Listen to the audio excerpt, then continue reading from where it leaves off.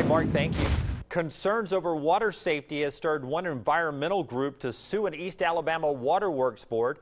The Coosa River Keepers have notified the Oxford Waterworks and Sewer Board of their intent to file a citizen lawsuit over pollution in the Choccolocco Creek. The group claims they've taken samples coming from the plant that show unusually high concentration of E. coli.